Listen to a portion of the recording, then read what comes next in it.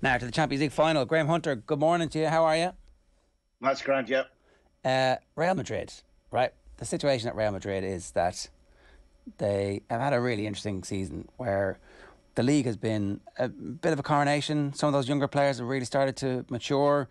We've seen their older players wrestle their form back. And over the course of the year, we had expected big transfer news coming in. Something was going to happen somewhere along the way. Their dream was to unite the best young strikers in the world. And all of a sudden, when you're trying to dance with everybody, it's one of those situations where you end up dancing with nobody. What's going on? Yeah, mm, okay. That's yeah. That's a real Jackson Pollock painting of the Mbappe. It's Mbappe you're referring to, right? Well, yeah, yeah, but they, they definitely they were they were in the Haaland Stakes early in the race, and obviously uh, it it didn't. Yeah, look, look, look, look, look, look. We've been we've been there before, where um, Real Madrid wanted Ronaldinho, but said to him, "We're not quite ready. Will you wait for a year at Paris Saint Germain?" And, and it failed. He was ready to go. He went. He nearly went to Manchester United. Peter Kenyon screwed that deal up, and Barca pinched him. Um, they transmitted when Mino Raiola was still alive. They transmitted to him that they that they wanted to take Mbappe now on a free and then Haaland the following season. That was rejected out of hand. They put all their eggs in one basket. A basket where, you know, you, you given that Mbappe had um, Zidane and Cristiano Ronaldo as his as his two principal heroes growing up, and he came to Valdebebas aged twelve to train, and the the board of directors then, while Florentino Perez was on his sabbatical when he, he, he gave up on his Galactico project and and felt he'd failed and went away for about just a, just about two and a half years. Um, Mbappe was there. He was training for them. The coaches said then, when you know it's just about ten years ago, this is this is an exceptional youngster. We must sign him. Sixty mil was the, the price. They wouldn't fund that they thought they were getting him, you know, a, a, couple of terms ago by spending big money. He decided to stay. They thought they were getting him now on freedom of contract. If you were if you were offered a straight choice without the, the, the benefit of hindsight now when it's all gone to you know it's all gone to crap, you, you probably would put your your bet on Mbappe if you were Florentino Perez. You know he's enamored with the club you've had an agreement in principle with him with just about everything except for free, human free will thrashed out from about September, October. If you want to argue the, the, the, the, various merits of Haaland and Mbappe and say, well, you know, they really screwed up by not dumping Mbappe four or five months ago and just going for Haaland and saying, splash, there's the buyout.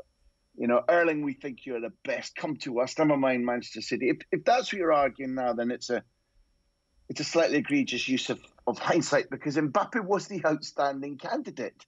And far be it from me, in, in over the 20 years that you and I have been talking on your show, it's rare when I've been saying, yeah, Florentino Perez is right on the money. I've often expressed admiration for him. I've often expressed awe of his achievements, and more often I've been critical of some of his stances, some of his behaviors. But when he and Javier Tebas say, hold on a second, the you know the, the, the playing field is tipped exactly against us because we can't splash out hundreds of millions. And we we we don't have the the complete autonomy to do precisely what we want within the club and and and to, to literally change financial history. Then you know, they are talking about a Paris Saint Germain who was able, who were able to do the most extraordinary things, offer the most extraordinary amounts of money to Mbappe in order to persuade him. And I'm a little bit disappointed as somebody who works around La Liga and, and thrives on beautiful, intelligent, athletic, dangerous footballers coming to that country. I'm a little bit ticked off that he isn't going to be playing in Spain and devastating all Real Madrid's opponents. But it is it, it was an extraordinary tactic that the Paris Saint Germain used in order to persuade him at the la- last minute after his mum's visit visit to Qatar and all the, the, the, financial and political pressure that was put on the man. I, I wish Mbappe had decided differently. I don't think it's massively healthy for um, f- football outside Paris that he's made this decision. But if you're saying, well, listen, Real Madrid really screwed up by not not not pumping Mbappe a few months ago and going, let ah, let's cut our losses and go for Haaland. And for once, I'm not with you, Jared. It's more, I suppose, that they've ended up not getting anything that they wanted, and that's very unusual. Like, uh, I don't really remember a time where.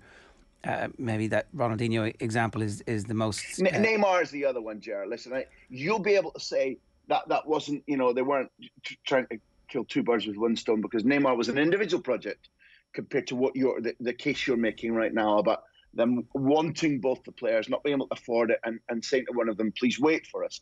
But Neymar, remember, was was again like Mbappe, was on a visit to the training ground. They thought they had him tied up with Santos financially. Um, Neymar's dad's involvement was assured. Wagner Ribeiro, the agent's involvement was sure. Santos were willing to sell. Sandro Rosell came to power, ex Nike executive in Brazil, came to power at, uh, at, uh, at uh, Camp Nou, and, and gazumped them, snuck in the back and, and lied about how much Barcelona had spent. And goodness knows how much financial incentives were, were given to the, the parent, the, the kid, and, and, the agent. But in that instance, Real had comprehensively lost what they wanted.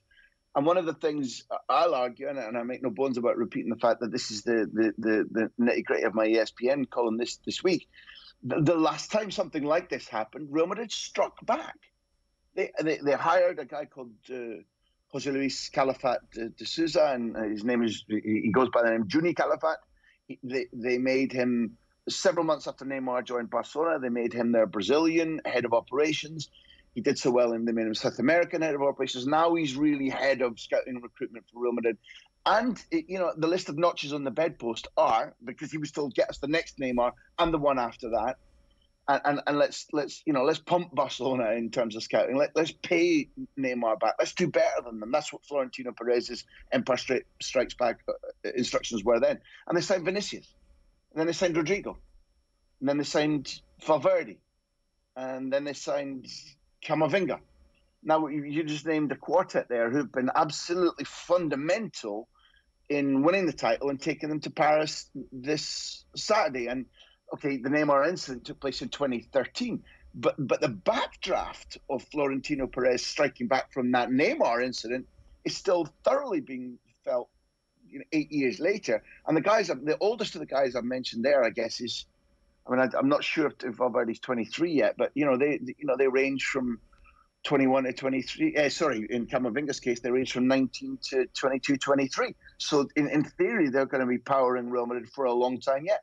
The, the power of, of what you're talking about, the power of the sting of embarrassment, can, can, that vinegar can be very big sauce. One last thing about the Mbappe uh, situation. Uh, it, it, has largely been painted as a financial thing. I do wonder if perhaps the opportunity to be the power in Paris Saint Germain is also something that is intoxifying for somebody who is as ambitious as Mbappe. Um, like there was a slight blip in form, and then the form returned to the levels that. So it, it's clear that he is going to be able to deal with setbacks. You know, we, we've seen enough now in that short career, short but brilliant career, that he he's not going to be phased by the money. He's not going to be phased by any aspect of the celebrity or the responsibility. That like you know, there's a possibility he's Michael Jordan esque over the next couple of years and is the man who delivers yeah. and carries the team to Champions League glory. Uh, yeah, it's a good argument. It's a good. It's a. It's a. It's a. I buy your argument. There, there were any number of people about 13, 14 months ago who would brief you.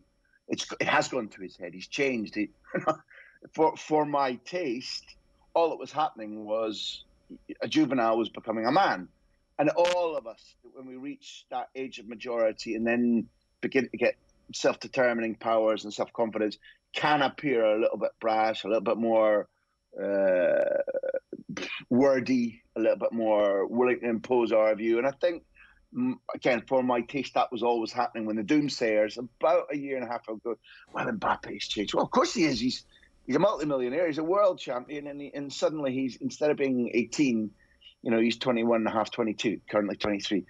Your Jordan analogy, I like. Um, I, I, understand that, uh you know, you didn't take the financial aspect out of your argument, and, and that needs to be paramount. But selling in the dream of saying you'll be the power that takes this club, your club, if you want to, um, to its first ever Champions League victory, that is that is a pretty toxic brew to be selling to a guy. I, I accept. I think, and I wish he'd considered that League One is not a preparation for winning the Champions League, and it's the odds are stacked against them. Now, if you're a competitor and, and you utterly believe in yourself and you utterly believe in people own the club, and they say, well, we will actually buy and develop in order to change that, and that we will be competitive. You can buy or not buy that argument. I think League One doesn't prepare teams to, to win the Champions League. And I think that dream will probably become tarnished. And I think my estimate is that Mbappe will leave Paris Saint Germain vastly richer, will probably leave before the end of this renewed contract, in my opinion, and probably do so without having won the Champions League. If blowing Barcelona out of the water in terms of recruitment of young uh, Brazilian players was maybe Florentino Perez's version of revenge over Neymar. What will his revenge look like for this? No, I, I, I don't know. If you want to put specifics on it, on, I, I wish I could reel off to you the list of. There's a guy called Endrick, a 15 year old Brazilian that is apparently the number one on the radar in terms of the equivalency you're talking about now for the Empire Strikes Back Mbappe version compared to Neymar version. But the reason that Juni Calafat is, and people like him, he's, he's not the, the only man in the world who successfully scouts young players, are, are so well paid, are so sought after, is that it, it, it doesn't take what I do, which is the great good fortune of traveling the continent to meet people and go to games or whatever. It takes an exhaustive sweeping of every um, network that you've got around the world. It takes br- a, br- a, brilliant network to, to be established, just like Monchi has, for example, at Seville. And to, to be able to throw to you a clutch of exceptional 15, 16, 17 year olds around the globe right now would be bluff on my part. And I'm not, you know, I'm not going to do that. But where I believe you can expect an answer to your question is version two. They went through version one, whereby there were some failures. Again, I use the expression nobody bats a thousand in the transfer market, particularly if you're buying exceptionally talented kids, because you can't do the same due diligence as you can on a 25 or 26 year old and say, here's the character. We know the character. Because that character is going to change. You're going to, normally, you're going to transplant them from a different country and culture uh, and, and potentially from a different continent at aged, you know, FIFA rules suggest it should be at age 18 in some cases. And then to say absolutely we're, we're utterly clear on this person's um, ability to handle the pressure of working at the most political, most demanding club in the world, that's that's not feasible. But in stage two, what they're much more um, aware of is is how to prepare for bringing in a, a, brilliant 18 or 19 year old from another country, another language, another continent, for example. They're because they've done so successfully. They've, they've taken the careers of um, Vinicius and Rodrygo and Valverde, and currently Camavinga, who was slightly ahead on the scale because Rennes have been playing him consistently for a couple of years in, in frontline first team football in League One. And therefore, I, I think he was more accessible horseflesh. But I think stage two, when they bring these, uh, and, and this is how they will react because they believe that the nation state clubs, you know, to name just a few, Paris Saint Germain, Chelsea have gone dropped off that list, but, but City and Newcastle will be in there. That, their ability to, to to to have endless funds probably means that Real Madrid need, now need to not do what they used to do, which was buy a Galactico, the best player in the world at 25, 26, 27, 28, And they've actually done a volte fast on that. It's it's a really interesting change of policy because the whole Galactico idea was the was the way in which Florentino Perez swept to power. It's the way in which he, he became the center of attention between 2000 and say 2005 six. But now it's it's kids.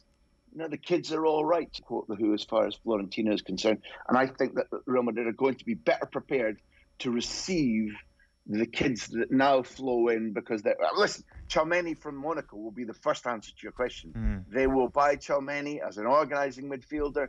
Suddenly there'll be a player who can who can deputise for Casemiro, and Madrid will be a hell of a lot stronger for that reason.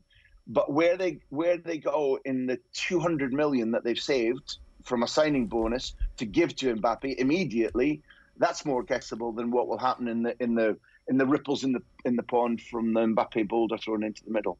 And in uh, the year 2022, nothing bodes better for a Champions League final than one rival beating another to a signing. So the Tchouameni thing bodes well for, for this Saturday evening and uh, pretty much well, weighted in Real Madrid's favour. Well, Salah's words too. Yeah, we all have to thank Mo Salah for, you know, telling the truth when they won their semi-final and the next night's one wasn't sorted. I, you know, you, I, I haven't often done it, but I have done it in an interview. Who do you want in the draw? And players just, ah, listen, it's all it's it's all difficult at this stage, and I love you all, and Mo went, nah, nah, nah, nah, give me Madrid. And then he, once the semi-finals were sorted out, he said it again. And I was at the AXA training ground recently interviewing Klopp, and he said, listen, the, the, these motifs will come out, it'll be talked about, but you don't go into a game looking for revenge. And this this this spills over a little bit into the Tchouameni thing, I suppose. It, it does club to club, add a little bit of spice. But even though Ramos is absent, just the very fact that Mo Salah said what he said led to Fede Valverde the other day in a in a in a huge two page interview uh, with Marca, I think it was, going, yeah, yeah, he, Salah's put us down with these remarks, and, and he's Uruguayan, so he means it. That's not, Jerry. You can grimace all you like, baby, but Uruguayans are a different breed when Fede Valverde bites back, he means it. I mean, it's if not. It's, it's me, elevating them though. It's it's actually the opposite of putting them down. But I, I see if you're trying, if you're an elite athlete, using any little bits of. Uh, you betcha, stuff. baby! Circle the wagons, and they're all coming for us. They're all pointing at us. Let's get after them. What's going to happen? Yeah, good one. Look, um, I'll be sure by by um, Friday night, Saturday morning, because what tends to happen is you you you listen to the words, you, you, you feel the vibes, you, you get the training ground reports. I, the first thing that will happen, I think, is that you could name 10 of the 11 Real Madrid players now. Alaba is going to be fit. As long as there are no training ground incidents between now and then, which, you know, happen, then you could name 10 of the 11. The, the, the last debate will be whether it's Valverde named as a, a third forward on the right, but oscillating very distinctly between that and midfield, or it's Rodrygo as an out and out striker on the on the right of the three that includes Vinicius in the left and Benzema in the middle. So Madrid's team is known, so Liverpool can plan for that. There'll be minor adjustments. Um, I, I I have to say that, that during the lead up, when I watched the way in which there was a rope a dope trick played on sequentially Paris, then Chelsea, then City, my idea in sport is that rope a doping opponents means that eventually your legs go and you take one to the chin. And if Liverpool were able to play at utter full intensity at their absolute ferocious best, I'd have said that they entered Paris as, as favourites because Real Madrid don't particularly like that. But watching Liverpool recently, with the possibility that Thiago is out injured, with the gut blow that happened um, at the weekend, a magnificent show by Liverpool, just as it was by by City, but it's a gut blow. I I think it would be naive not to say that Madrid are are, are prepared. They, they I don't think they'll have lost a competitive edge. I I think that they'll have benefited a little bit from the rest. And for my opinion, Los Blancos by about a millimeter, probably go into the game as favourites. Okay, right. That's interesting. And uh, hopefully we have an all-time classic. Sometimes these finals can disappoint, but I feel like this one, it's coming close Should, enough to the rest of the season that yeah. it shouldn't. Yeah, yeah. agreed. Uh, last question for you, Luis Suarez. Where does he play football next season? Man, I wish I was sure. Um, I, I, think his desire to, to to to be powerful for Uruguay in the World Cup, which remains you know, there's been talk about his retirement there, and uh, he, for my taste, he, he'll try to make a choice that, that leaves him absolute prime condition for a November December World Cup. The obvious thing for him to do is because he has craved this for a while is to go and play for Phil Neville. I, you know, I've said that a little bit backhandedly. Um, to go and play and live in Miami, and Phil Neville would be his coach. Um, look, it, it's feasible that he stays in Europe for a team that plays high up the pitch and presses and doesn't ask him to, to be doing multiple sprints and, and counter attack football.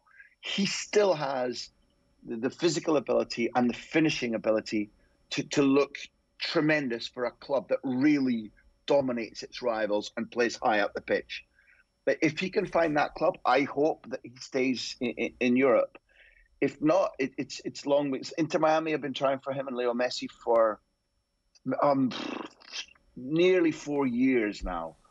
So I suppose best bet Miami. My hope is not yet Pistolero, not yet. All right, Graham, good stuff. Enjoy the game. Thanks a million. Lads, cheers for now.